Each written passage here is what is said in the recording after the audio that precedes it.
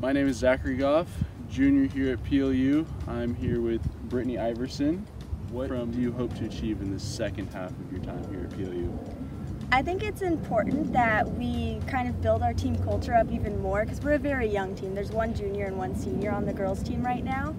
And so it's just kind of building that team camaraderie because most people haven't been here very long and so it's a matter of getting everybody included because when even though cross country is an individual sport it's still a collective team effort and so just to kind of build up that sense of community i think will be really beneficial in the next couple of years and then on in this program what what are your goals you've set for yourself as a runner this year um, I've been facing injuries just from last track season. I wasn't able to compete at all.